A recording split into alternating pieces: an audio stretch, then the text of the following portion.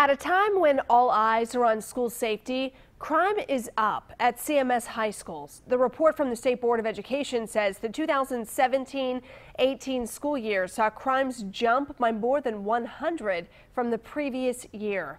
Our education reporter Elsa Gillis is live for us tonight. Elsa, you dug through that report and took it to the district. Yeah, Allison, school safety and security is top of mind for so many people right now, and a rise in any crime is not what anyone wants to see. But unfortunately, that is part of what we are seeing in this latest report from the state.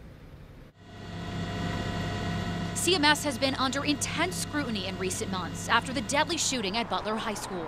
And now we are getting a glimpse at the latest crime statistics inside CMS high schools. From 2016 to 2017 to the 2017 2018 school year, the number of reportable crimes increased by more than 100, from 584 acts to 710.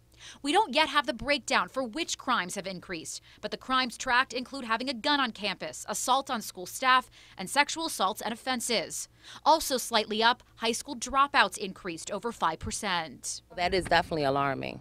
This CMS parent, after seeing those numbers, told me this is something everyone should be concerned with, not just the district. And I think it's more of a community situation. Each community has to take charge. She was also shocked by some of the statewide numbers just released.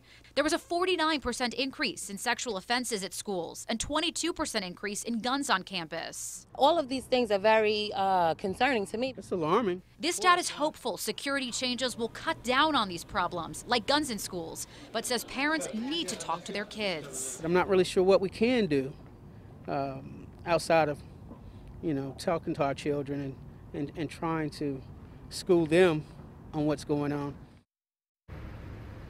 I do want to add that suspensions and expulsions have gone down at CMS. I have not yet heard a response from the district about that rise in high school crime and dropouts.